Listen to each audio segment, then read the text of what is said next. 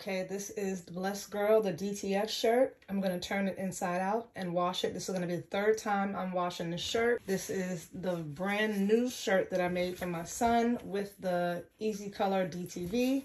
This is to be the first time I'm washing it. It's inside out. That one is inside out as well. These are the wash test results.